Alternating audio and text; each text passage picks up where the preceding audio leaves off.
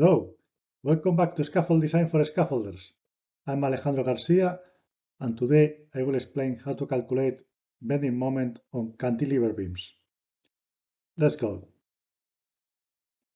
Let's see first a cantilever beam with a point load at the end. As we did on the previous video for bridges, we are calculating first the reactions and then bending moments. So we have a 2 meter cantilever span with 6 meter tailback and a 5 kN load at the end of the cantilever. We have two pin supports, so we will calculate two vertical reactions. And to that, there are a couple of equations to obtain the uplift on A and the fulcrum reaction. So at the back of the cantilever, you will get an uplift and at the front the legs will push down towards the ground. Now to make it easier, these equations, they are calling this load P, this is A, and this is P. I never remember these equations by, memory, but if you if you can memorize them, they they may be helpful in the future. Now I am going to use the statics equations to calculate their reactions. I'm going to deal with the, with the symbols to come up with the same uh, equations you have on the screen now. So for vertical uh, loads, summation of, of vertical loads, we have RA plus RB equal P. And for the moments on B, we'll have minus b times B and minus RA times A. That's equal to 0. Therefore, RA is going to be minus B times B divided by A. Okay? So if we input the values, now we will get minus 5 kN times 2 meters divided by 6 meters. So minus 10 over 6, 5 over 3, so that's 1.67 kN. And now we know that RB is going to be 5 kN minus minus 1.67. Minus times minus equals a, a plus sign, so this is 6.67 kN.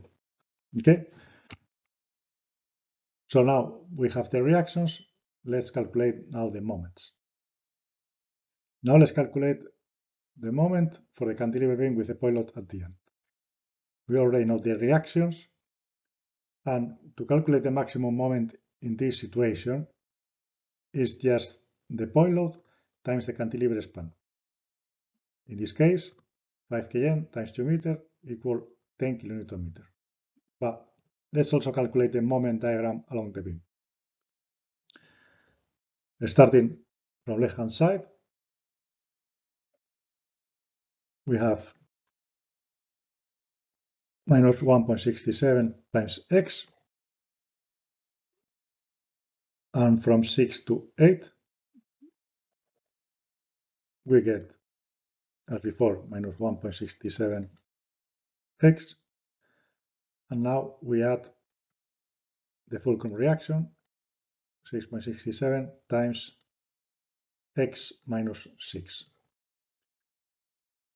So if we calculate at x equals 6 meters, we will get minus 1.67 times 6 meters is equal minus 10 kilonewton meter.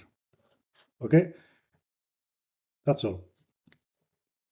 Now we are going to calculate the reactions and moment for a more common case in scaffold design, that is a cantilever beam with two point loads. It will be the inner load, the inner leg load and the outer leg load.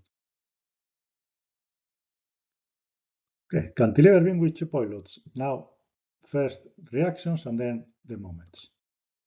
So we have the same dimensions as before. The only difference is that now we have two point loads of 9 and 8 kN. These two reactions, and now we use statics equations to obtain the reactions. So we have RA plus RB must equal 9 kN plus 8 kN for a total of 17 kilonewton. And if we take moments on A, we have RB times 6 meters minus 9 kN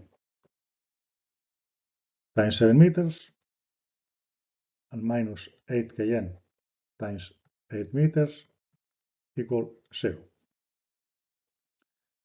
So we have that RB equals 63 plus 64 divided by 6. 21.2.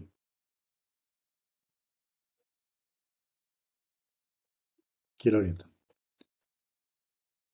So if if the fulcrum reaction equals 21.2, then RA, where we should have uplift, equals 17 kN minus 21.2 kN minus 4.2 kilonewton. So yeah, uplift. Now let's uh, calculate the moment. Let's calculate the moment for a cantilever with two point loads. We already know the reactions. So as before, what's the maximum moment on the cantilever? It's going to be the loads on the cantilever span times the distance to the fulcrum support. So in this case, we will have 9 kN times 1 meter plus 8 kN times 2 meter. That's 25 kilonewton meter. Okay. Now let's calculate the moment diagram for the full length of the beam. Started on left hand side, we have that the moment equals uh, the uplift reaction times x. And then going forward, we have again minus 4.2x plus the fulcrum reaction times x minus 6 and then minus the 9 kN point load times x minus 7.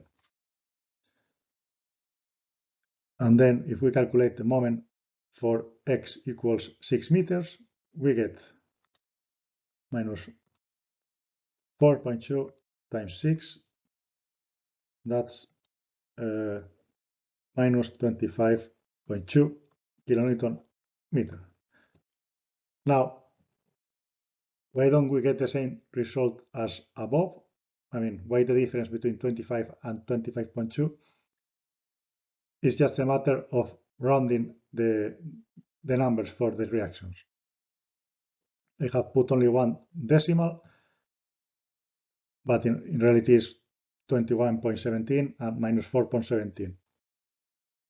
The more decimals you you consider, obviously, the closer the result. But it doesn't make any any difference for you know to obtain clear results. I mean, 25.2 or 25 is not is just the 0.2 kN per meter, 20 kilograms per meter.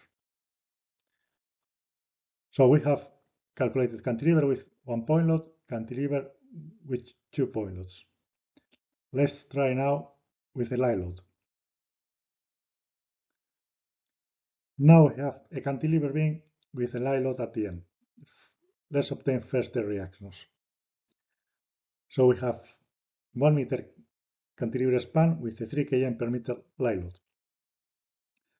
So we are going to calculate the two reactions, two, the two vertical reactions, using the uh, statics equations. So RA plus RB must equal uh, 3 kN per meter times 1 meter. That is 3 kilonewton. And now if we take moments on A, we will have that RB uh, times 4 meter minus uh, 3 kN per meter. Times 1 meter, that's the total load from the line load, and now the distance from the center of the line load to A is going to be 4.5 meters and that's equal to 0. So from here, RB equals 13.5 divided by 4. 3.4 kilonewton. And therefore Ra is equal to minus 0.4 K. Okay. Now let's obtain the moment diagram. Now the moment for the cantilever beam with the load at the end. We have already the reactions. What will be the maximum moment? Well, again, is the load on the cantilever span